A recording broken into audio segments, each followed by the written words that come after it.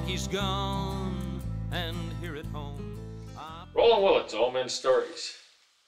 And I'm here with Terry Smith and his Texas Coffee Cup and the song, which is, I can't read it, It's called Mickey's Gone. Mickey's Gone, yes. In some of our previous discussions, I, I keep told thinking you, of Mickey Mouse when you said that. yeah, that's Mickey Mantle. Mickey, I know it was Yeah. Mickey Mantle. Yeah, um, Mickey Mouse is still around. it's Mickey Mantle, it's gone. Yeah, you're, you're, you're you're just a super, super baseball fan, so this, yeah, I am, and I was not a super Yankee fan, as the song explains. You could not be. I was a Brooklyn Dodger fan. Well, how could you not be a Brooklyn Dodger fan and not hate the Yankees? But, but on on the morning or soon after Mickey Mantle died, I was sitting and having my morning cup of coffee and working on a song. Actually, obviously, and and putting all that back together and thinking what a, a hero he was to to young people in this country, despite all his problems that came forth later on in his life and his alcoholism and all that stuff, which he acknowledged, which he got past and finally acknowledged and, you know, said to the world, I wasn't the role model that I could have been. But he was still a hero. He, uh, and I got to thinking about that. Um, I was privileged to grow up in what is considered the golden age of baseball. And not only that, the golden age of country music.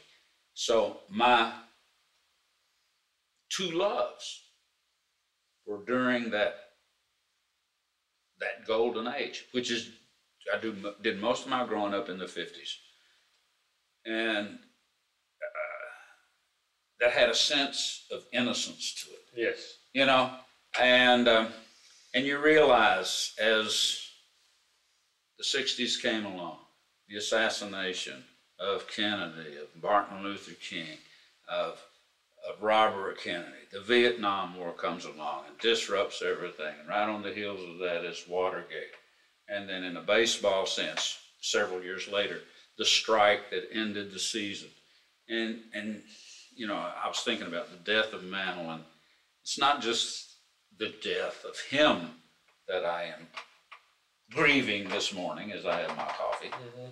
It's the death of of that period, Yeah, that, time, That time, yes. that innocence. There And- was an innocence on the other side of it. You thought you were going to be nuclear dead in about any second. So, Yeah, right. So you had a little innocence on one side and fear on the other. So Right. So that's that's how this this song came to be, and um, I have always wanted to get a song, a, a copy of this song to Mrs. Mann, and I've never been able to do it, but I did get a copy of it to um, the sports announcer Bob Costas. Oh, Bob Costa. Uh, because I had heard, you know, Mantle was his hero, Right. and that he carried in his wallet a baseball card of Mickey Mantle. so somehow, some way, I got a, You a got- copy of this CD to him, and I actually got a response from him in my in my keepsakes. wow. Uh, that is so awesome. Yeah. I thought it was kind of cool. yeah. It's a super, a, hero, a, a hero of a hero. Okay. That, that, that Bob Costas is, you know, really well known even by me, which Yeah. is, and I'm not, I'm not a, uh, Mr. Mr. Know All the Sports People fan. Yeah, well, but anyway. So let's listen to Mickey's Gone. Here, here, we're going to listen to Mickey's Gone. That's Mickey Mantle. Right.